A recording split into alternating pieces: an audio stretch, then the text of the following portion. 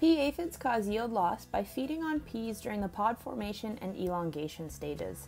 They overwinter in perennial legumes, but the bulk of pea aphids in Western Canada do blow in. Field peas should be monitored and protected from aphids for two to three weeks once pods start to form. Economic thresholds for aphids and peas are established for early flower by checking plant tips or by taking sweep counts. So with higher crop prices, this threshold will be reached when there's about 1 to 2 aphids per plant tip or 7 to 10 per single sweep on average across the field. And then foliar insecticide at early pod when about 50% of the plants have produced young pods is the best time for control. And that's since it protects pods during those forming and elongation stages, which are really the most sensitive to aphid feeding. Once peas have produced full pods at R4, control is unlikely to be economical any longer.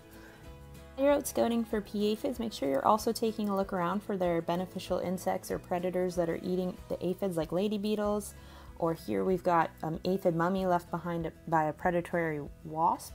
So keep an eye out for beneficials that might be working for you too. Pea aphids are also a pest of faba beans. Economic thresholds for faba beans are currently being researched at the University of Saskatchewan. Preliminary data is showing that probably around 140 to 300 aphids per plant might be a, a, working threshold for now, but those numbers are still under investigation. Aphids can very quickly have a little bit of a population boom, so every aphid will produce around 50 to 150 young in within a year, and those offspring are, will become reproductive within a week. So populations can really take off if you're not monitoring for them. So even though the thresholds in faba beans is a bit higher than in peas, it is important to still keep monitoring for them throughout podding.